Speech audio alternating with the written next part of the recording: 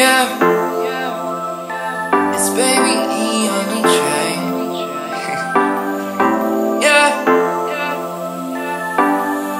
Say.